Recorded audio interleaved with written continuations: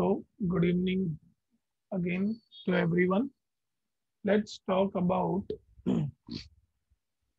normal distribution. So, uh, सबसे पहली चीज़ अगर आप देखेंगे तो it seems to you like a bell-shaped curve. It seems to us like a bell-shaped curve. दूसरी चीज़ it is symmetrical in nature and we have studied this earlier if I am talking about that our normal curve is symmetrical in nature and it has single peak if it has a single peak value then what happens अगर एक ही peak है तो क्या होता है? If there is a single peak there is a single peak in my curve.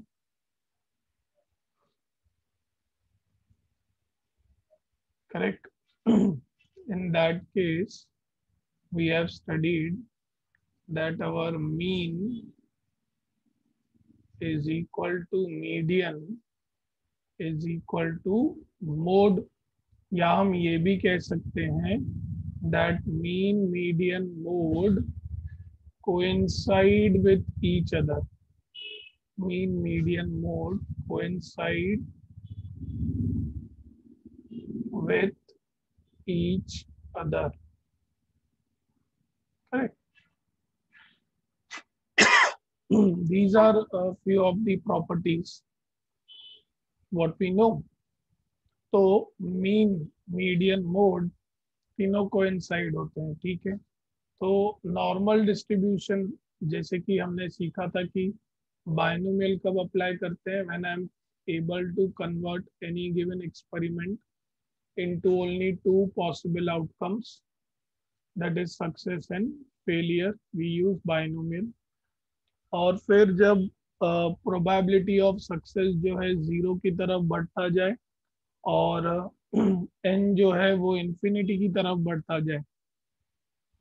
तब हम यूज़ करते हैं हमारा पॉइसन डिस्ट्रीब्यूशन बाइनोमियल में हमने सीखा था कि कर्व जब सिमेट्रिक होता है करेक्ट अगर मैं बाइनोमियल की बात करता हूँ तो हमने क्या सीखा था? बाइनोमियल में हमारा कर्व सिमेट्रिक कब होता है? When our P is equal to 0.5 right p will be equal to 0.5 similarly, normal distribution, जैसे कि कंपैरिजन अगर हम करें तो बाइनोमियल और पॉइसन दोनों डिस्क्रीट थे।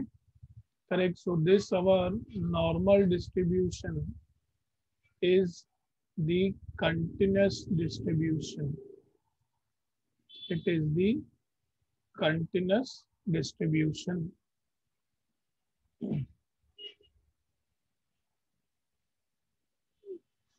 continuous distribution. Binomial was biparametric with values n and p.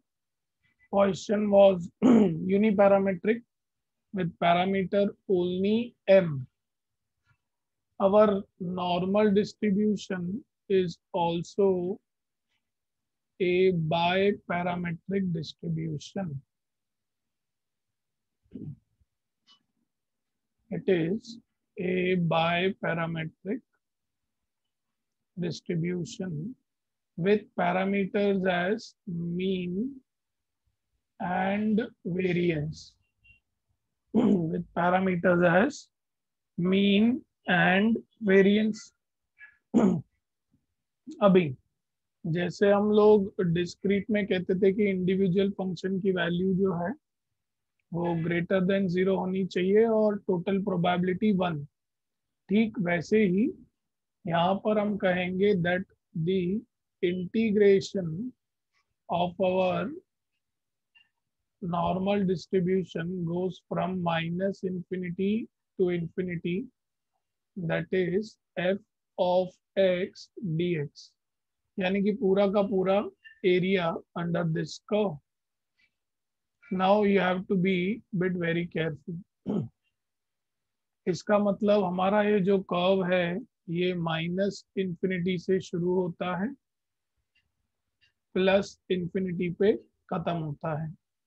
Symmetric है ओवर मीन तो मीन को हम यहाँ पर डिनोट करते हैं म्यू से। ठीक है?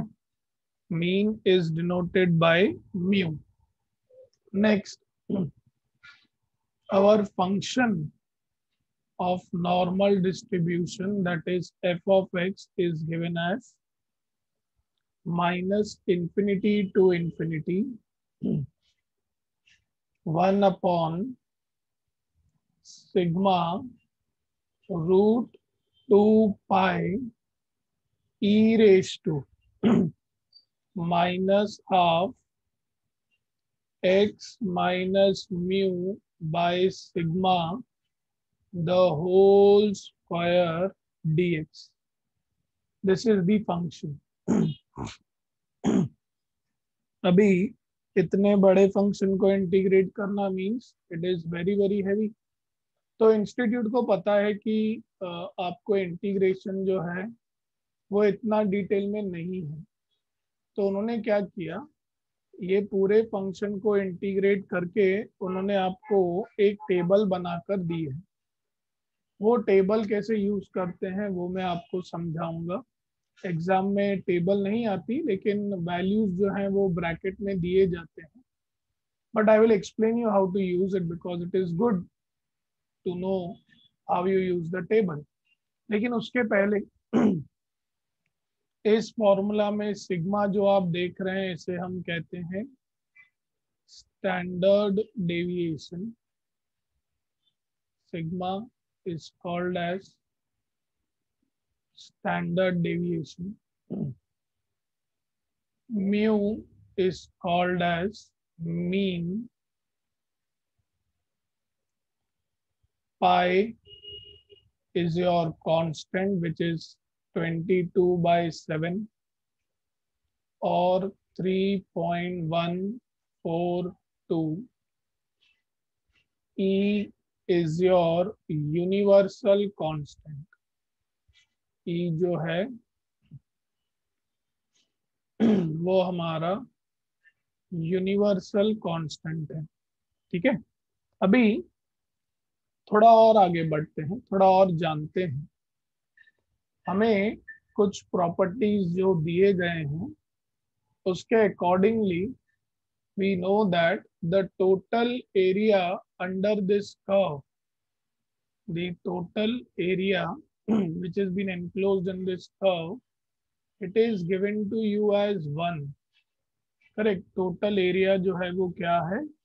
दी गई है आपको one total area is one ठीक है? बहुत ध्यान से, जो भी मैं चीज़ें करवा रहा हूँ should be very very attentive. The total area enclosed by our normal curve is one लेकिन, हमारा जो नॉर्मल कर्व है, वो जाता है माइनस इंफिनिटी टू इंफिनिटी और वो सिमेट्रिक है, एक पॉइंट को लेकर। सिमेट्रिक होना सिमेट्रिक होना, इसका मतलब ये होता है कि जितनी वैल्यू कर्व के लेफ़्ट साइड में होगी, उतनी ही वैल्यू कर्व के राइट right साइड में भी होगी। इसका मतलब अगर ये सिमेट्रिक है तो यहाँ से लेकर म्यू तक जो वैल्यू होगी दैट शुड बी सिमिलर जब मैं म्यू से लेकर इंफिनिटी जाऊँगा। तो अगर टोटल एरिया वन है तो आधी एरिया कितनी हो जाएगी? If total area is one तो आधी एरिया कितनी हो जाएगी? पॉइंट फाइव ठीक है? इसका मतलब ये हुआ, इसका मतलब ये हुआ दैट जो हमारा इंटरवल है माइनस इंफिनिटी से लेकर माइनस इंफिनिटी से लेकर mu correct is zero point five minus infinity से लेकर mu it is 0.5 and that is again area. This much area is equal to mu से लेकर infinity. करेक्ट क्योंकि सिमेट्रिक है ना?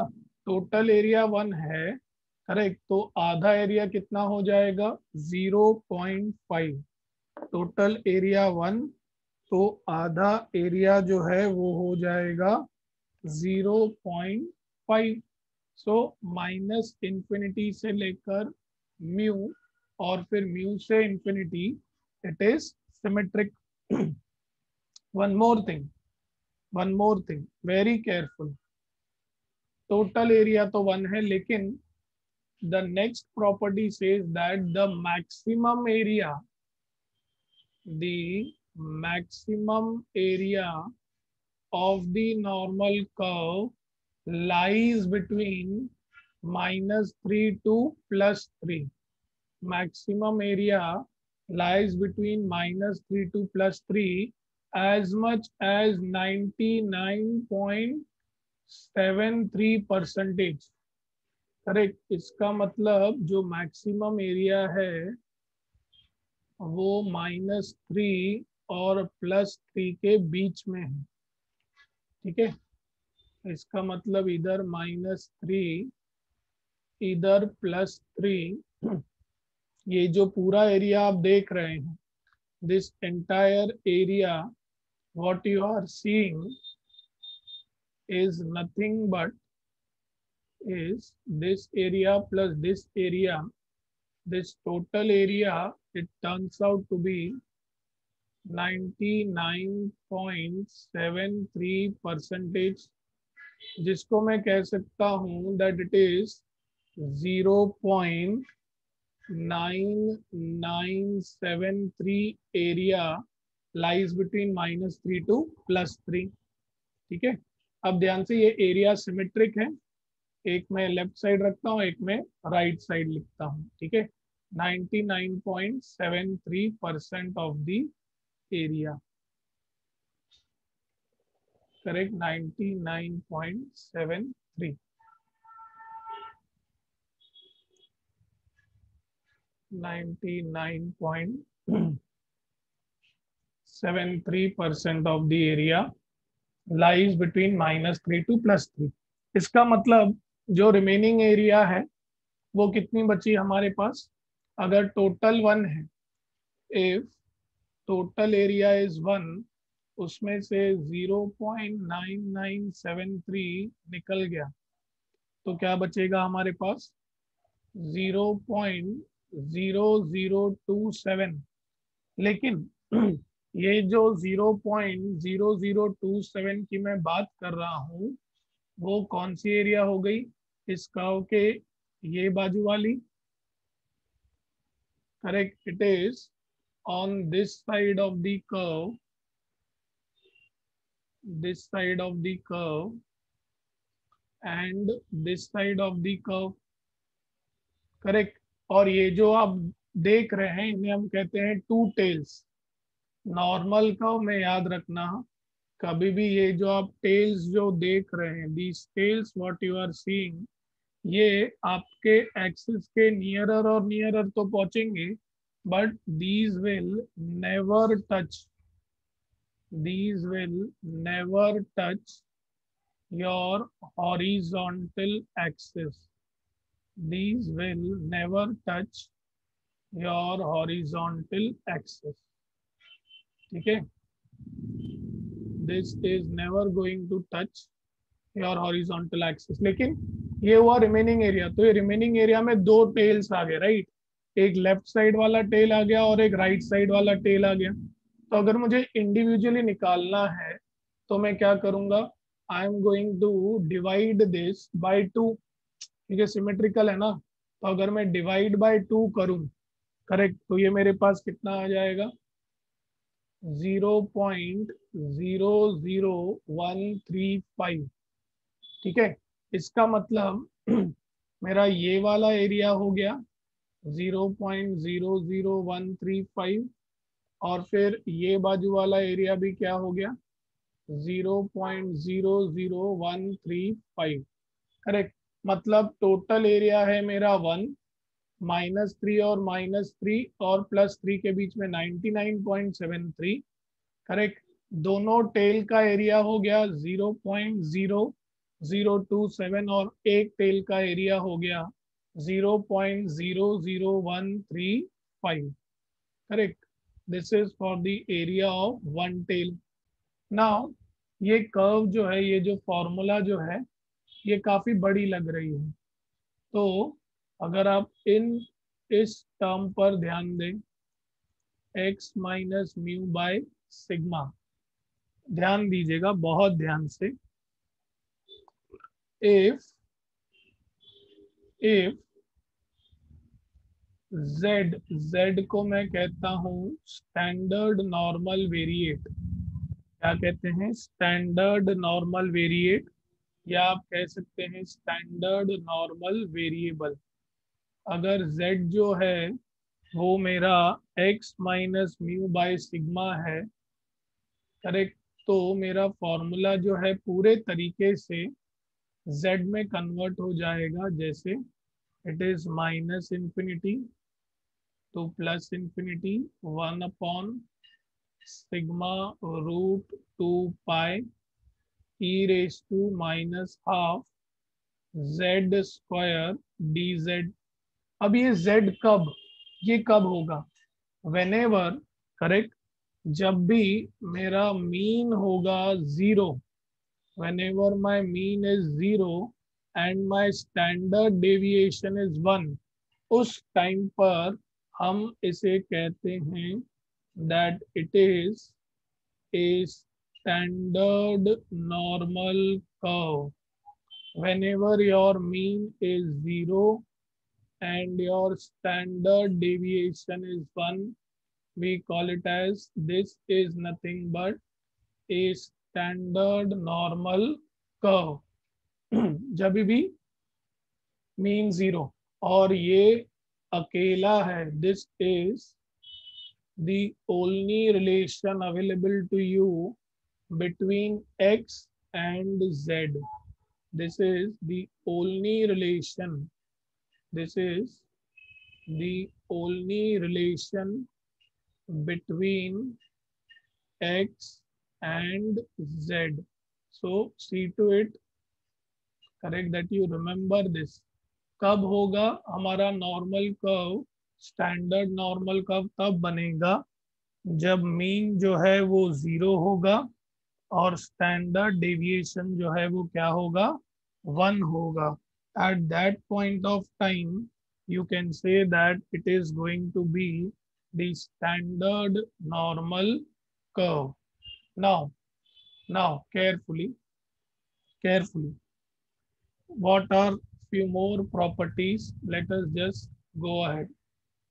जैसे कि बात यहाँ पर मीन मीडियन मोड की चली है राइट तो कुछ और इम्पोर्टेंट प्रॉपर्टीज़ भी दिए गए हैं जैसे कि mean deviation of the normal curve correct mean deviation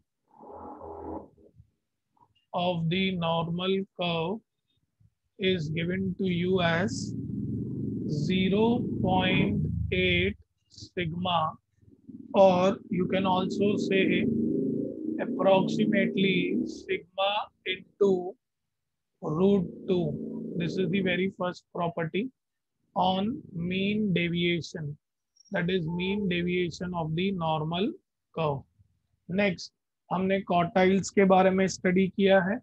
so normal curve में भी आपके पास दो कॉटाइल्स हैं lower as well as upper quartile so lower quartile Q1 is given as mu minus 0.675 sigma and Q3 that is mu plus 0.675 sigma.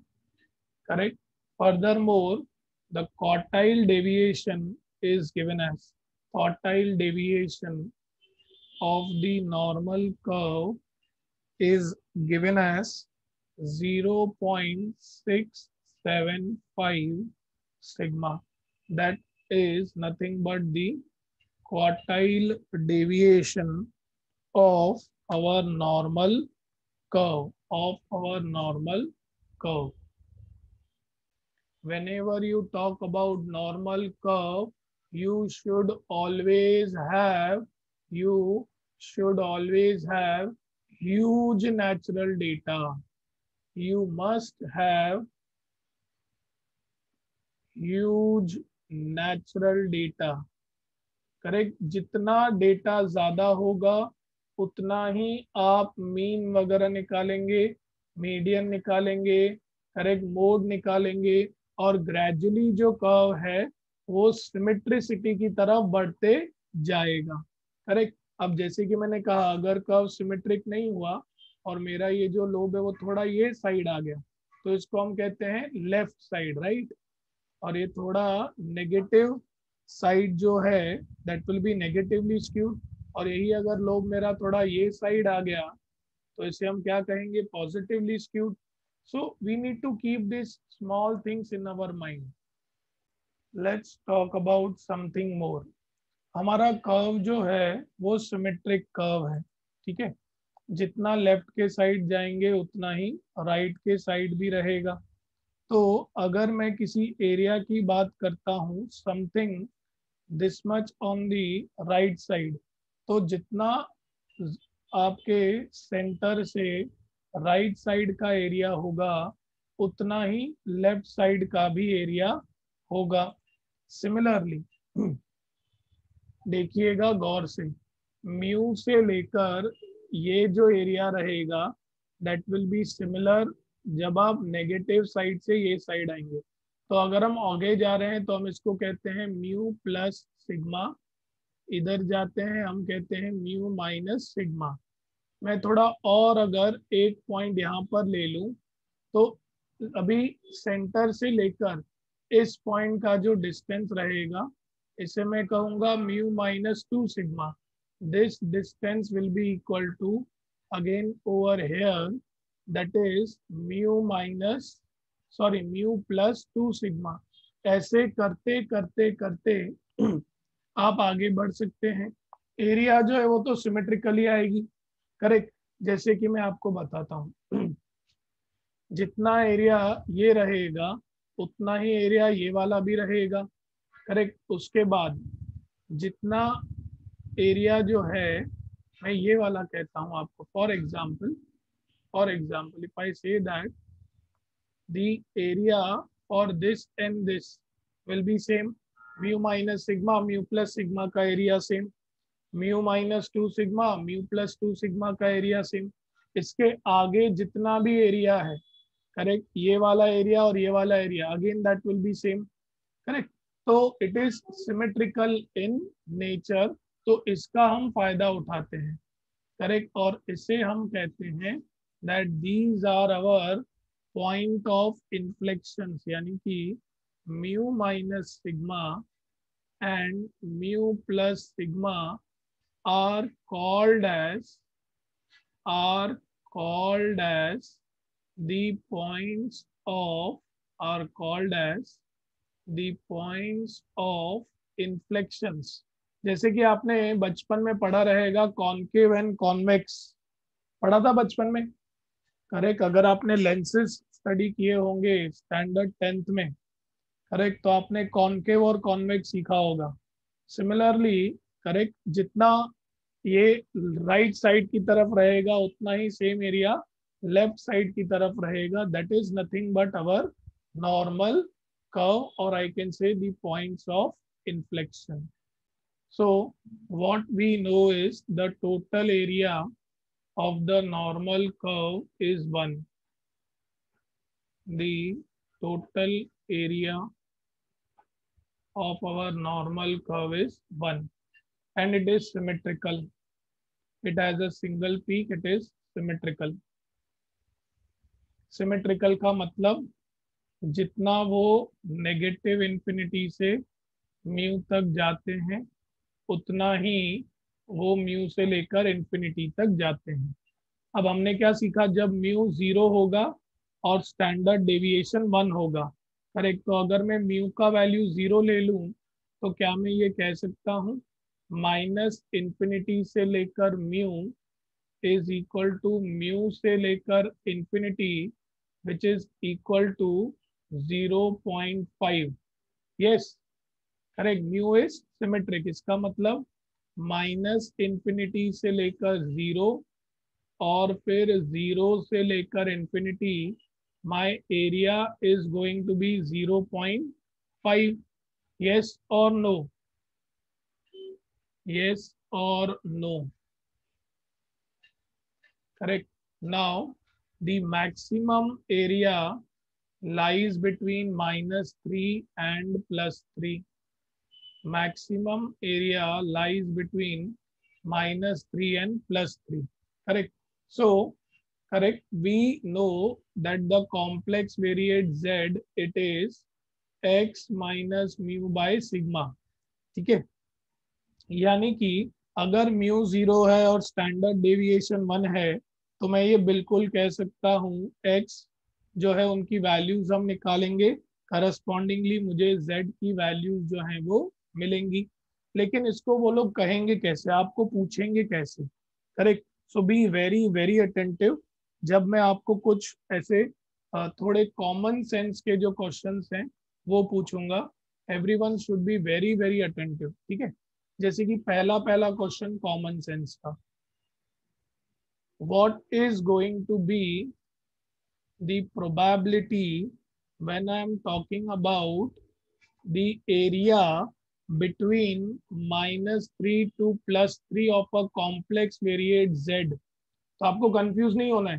Tell me what is the area lying between minus three to plus three what is the area lying between minus 3 to plus 3 it is 99.73 percent yani ki 0.9973 okay another point correct what will be the area for the complex variate if i talk about z greater than 3 z greater than 3 मतलब ये वाला area z के आगे वाला मतलब सिर्फ़ उन्होंने आपको एक टेल जो है वो पूछा है। Correct so what is going to be the area और z greater than three zero point zero zero one three five correct similarly probability of z less than three correct this will be what zero point zero zero one three five अब ध्यान से, अब ध्यान से, what if if I ask you, what will be the area for z greater than minus three z greater than minus three उसके लिए मैंने ये कर्व आप लोगों को समझाने के लिए बनाया है। ठीक है? जब, और ये आपको ऐसे ही नहीं समझेगा। करेक्ट क्या है? We all are about to became see correct हमें बोला है, z जो है ग्रेटर देन माइनस थ्री अभी ये माइनस थ्री ये सिमेट्रिक ये प्लस थ्री ठीक है? बोला है z greater than minus three तो ये है ज़ीरो और ये है three greater than minus three बोला मतलब कौन सा एरिया आ जाएगा? माइनस थ्री से लेकर ये पूरा एरिया जो भी आगे तक है करेक्ट तो अगर मुझे ये निकालना है तो मैं क्या करूँगा? देखो माइनस थ्री से लेकर प्लस थ्री का एरिया मुझे पता है। एवरीबडी करेक्ट माइनस थ्री से लेकर प्लस थ्री का एरिया पता है। It is what zero point nine nine seven three और फिर थ्री से आगे का एरिया मुझे पता है। Zero point zero zero one three five correct so what will be the total zero point nine nine eight six five आप ऐसा सोचिए कि माइनस थ्री से लेकर प्लस थ्री ये दादाजी की प्रॉपर्टी थी। फिर थ्री से लेकर आगे पप्पा ने प्रॉपर्टी बनाई। तो आपको तो पूरी प्रॉपर्टी मिलेगी ना माइनस थ्री से लेकर आगे तक। Correct so that becomes the answer ठीक है? So let us talk about P of Z. अब ध्यान से what will be the answer if I say probability for the complex variate z for less than plus 3 less than plus 3 what will be the answer can i say the answer is going to remain the same it is going to be 0 0.99865 correct okay so let me ask you one more basic question एक basic question पूछते हैं ठीक है एक basic question what will be the probability of z complex variate greater than 0 probability of z greater than 0 simple it is going to be 0.5 correct and that is again going to be equal to when our complex variate is less than 0 that is what? Again 0.5 this table of normal curve it is correct up to two decimal places. It is correct up to two decimal places. It is correct up to two decimal places ठीक है? अब इसको हमें study कैसे करना है, ठीक है? How we need to study तो सबसे पहले अगर मैं आपको पूछूँगा, एक बाजू में आपको वैल्यू ऑफ़ z देता हूँ करेक्ट एक बाजू में z की वैल्यू दूँगा और एक बाजू हम उसकी एरिया जो है वो हम निकालेंगे. On one side you will have the value of z on the other side I am going to write down the area ठीक है? तो सबसे पहली चीज़, अगर मैं आपको बोलूँगा, भाई, z की वैल्यू है वन तो आप पूछोगे ना, सर, कहाँ से? करेक्ट मैं आपको बोलूँगा कि आप क्लासेस पे आ जाओ। करेक्ट तो आप पूछेंगे ना, कहाँ से? तो ये पूरा टेबल जो है, correct, all the values are taken from zero. From zero. जब मैं आपको कहूँ ना वन तो z की वैल्यू मैं पूछ रहा हूँ ज़ीरो टू वन कि जो वैल्यू ज़ीरो टू वन होगी, वही सेम एरिया वैल्यू किसका होगा? ज़ीरो से लेकर minus one because the curve is symmetric ठीक है? तो आपको वैल्यू ढूंढनी कैसी है? बहुत ध्यान से। इस टेबल में ये जो नीचे आपको एरो दिख रहा है जेड साइड का, इसमें मुझे बताइए, और सिर्फ़ वन दिया है right it is only one which is given to you correct तो हम ज़ीरो में 1.0 में वन देखेंगे। Can you see this value क्या दिख रही है वैल्यू आपको? वॉट इज़ द वैल्यू 1.0 में वन। इट इज़ वॉट 0.3413 ठीक है? सिमिलरली सिमिलरली मैं आपको एक और वैल्यू बोलता हूँ। Please find me what is the value of three please find me what is the value of three कैसे निकालेंगे? हम लोग पहले 3.0 देखेंगे, उसमें ज़ीरो सी ये रही value correct it is going to be nothing but zero point point four nine eight seven correct point four nine eight eight seven. Any doubts to anyone? Hinal, I don't understand आपको आवाज़ क्यों नहीं आ रही बाकी लोग मेरी आवाज़ सुन पा रहे हैं इट इज़ ऑडिबल राइट तो it is clearly audible so anybody please update it to hinal Yogita आपकी मित्र है वो उन्हें कहिए हम वेट करते हैं लॉग आउट करके लॉग इन करें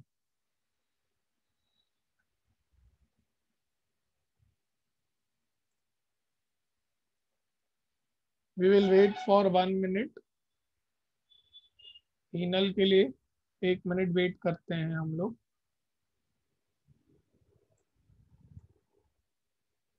योगिता जी मैसेज दिया आपने? ओके वेट करते हैं कि हिनल जी ज्वाइन हो जाएँ जल्दी.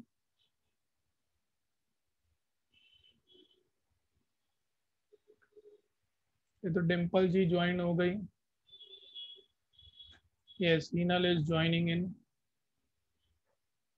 Hinal, am I audible to you now? Okay, Sambhaji भी ज्वाइन हो रहे हैं Sambhaji am I audible to you now? Sambhaji am I audible? Don't worry Hinal you are scholar enough मैं जैसे ही एक सम करवाऊँगा, आपको क्लियर हो जाएगा। और ऐसे तो और मैं पाँच छह एग्ज़ाम्पल लूँगा so don't worry Sambhaji am I audible to you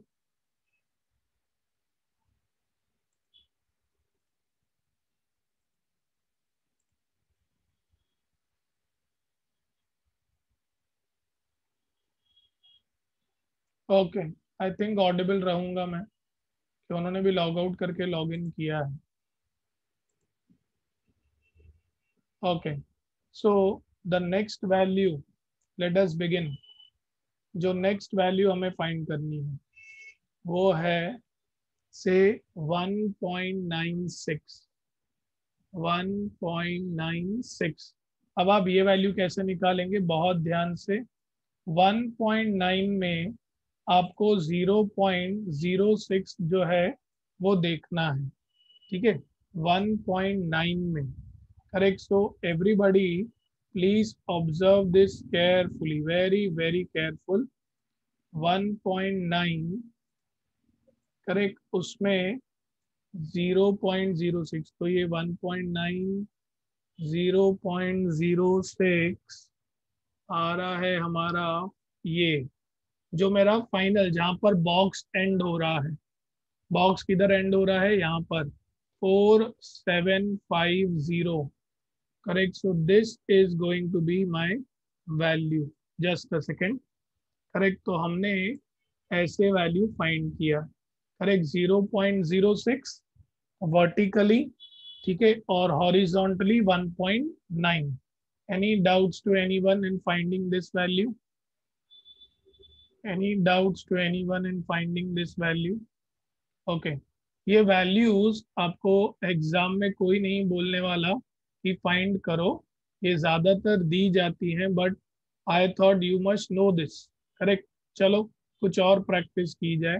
Now tell me what will be the value if I say to you only 0.4 tell me what is the value of 0.4 so 0.4 में 0 it is going to be 0.1554 okay. What if I tell you 0.08 correct? So you need not get confused. 0.08 what will be the answer? 0.08 very good. It is going to be 0 0.3 1 0 0.0319 correct? Next, one more.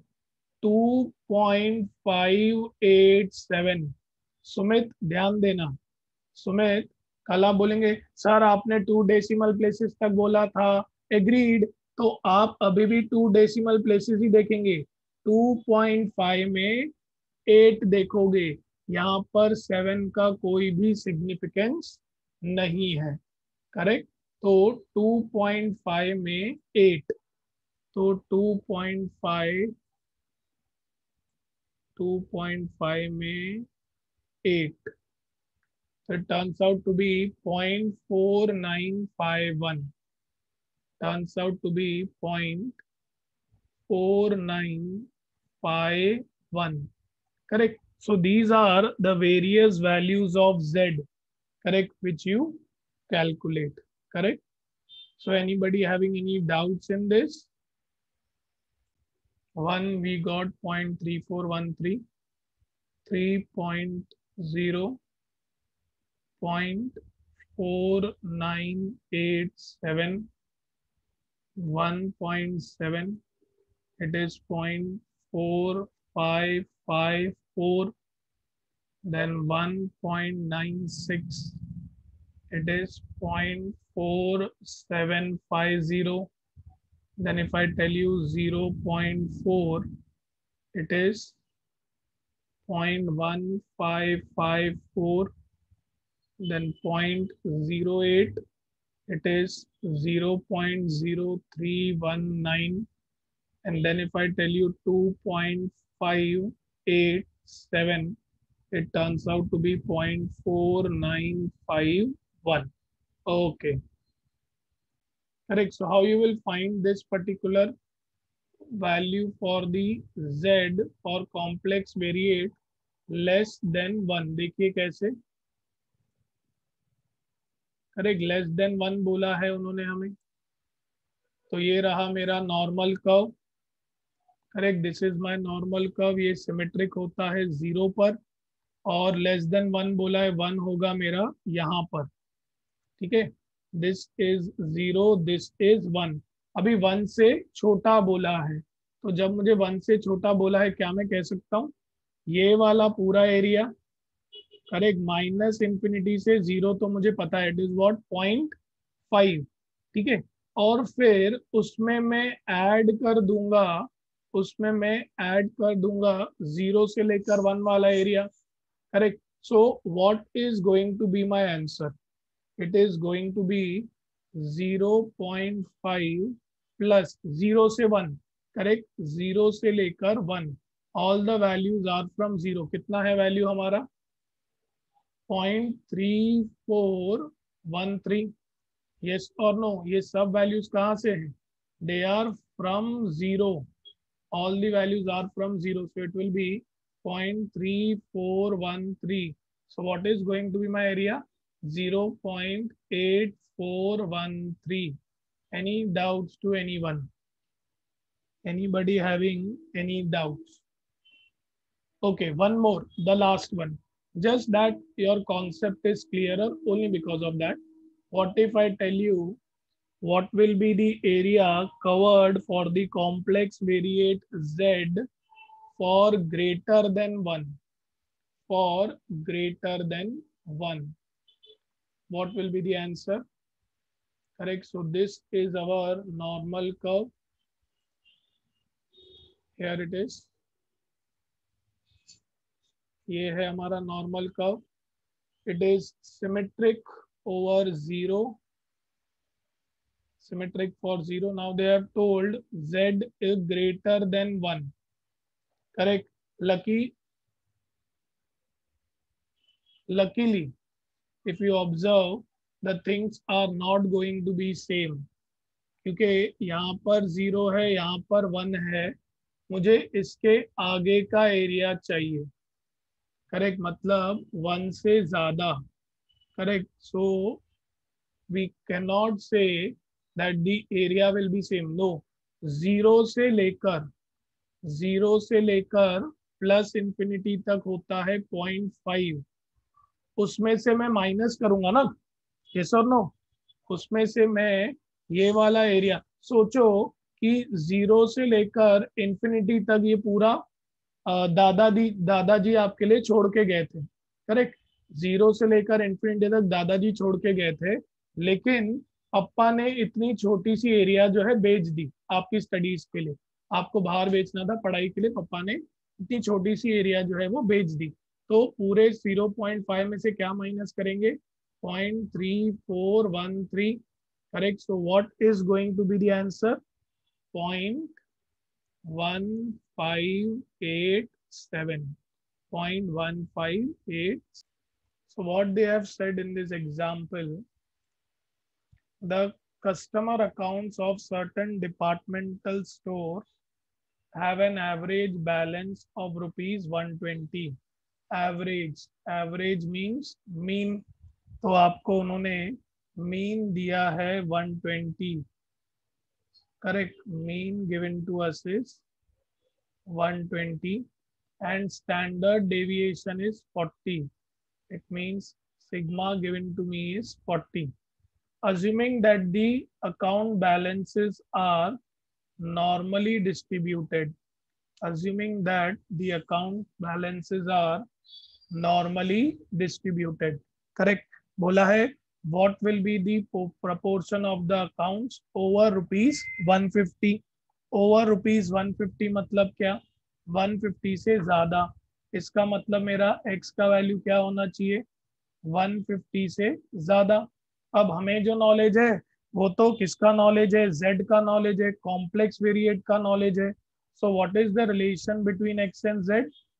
It is z is equal to x minus mu by sigma अभी ध्यान देना, चाहे आपके values correct A और B के बीच में lie करें लेस देन इक्वल टू हो या स्ट्रिक्टली लेस देन हो, या आपको ऐसे बोला हो a greater than equal to x greater than equal to b या बोला गया हो greater than equal to x और greater than equal to b या स्ट्रिक्टली ग्रेटर बोला हो, हर एक की मीनिंग जो है वो सेम होगी। करेक्ट जैसे हम फ़र्स्ट बिट करेंगे यू विल अंडरस्टैंड दिस ठीक है? एक्स की वैल्यू भले ही ग्रेटर देन 150 बोली है आप 150 माइनस म्यू कितना दिया है? 120 divided by sigma that is 40 तो आपको z की वैल्यू क्या मिलेगी? What will be the value of z? 30 bye 40 that will be how much?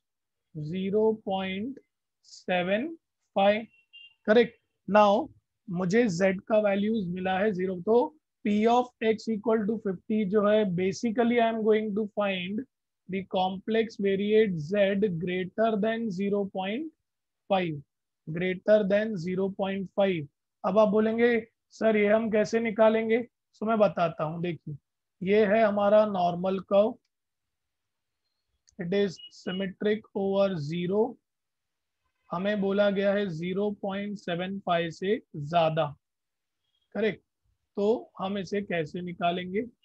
ये है ज़ीरो, ये है 0.75 तो मुझे इसके आगे का एरिया निकालना है 0.75 से ज़्यादा। करेक्ट तो बहुत ही सिंपल है। टोटल एरिया जो है, वो वन है। तो ज़ीरो से लेकर आगे तक ये क्या होगा? 0.5 मुझे ज़ीरो से 0.75 जो है वो माइनस करना पड़ेगा। अभी यहाँ पर दोनों ने वैल्यू दी नहीं है। क्यों? क्योंकि मैंने खुद ने नहीं लिखी है। मैं चाहता हूँ कि हम लोग कैलकुलेट करें या हम लोग निकालें। तो बहुत सिंपल चलो टेबल ये रही आपके सामने। मुझे बताइए what will be the value for 0.75 0.75 so 0.7 में 5 can I say it is going to be 0.2734 yes or no 0.2734 okay so it is going to be 0.2734 So what will be the answer? It will be 0 0.5 minus 0.2734. So the answer for this will be 0.2266. Any doubts to anyone? The second bit given to us is what is going to be the values when the proportion of accounts is between between 100 and 150 okay so it is between 100 and 150 so 100 और 150 के बीच में।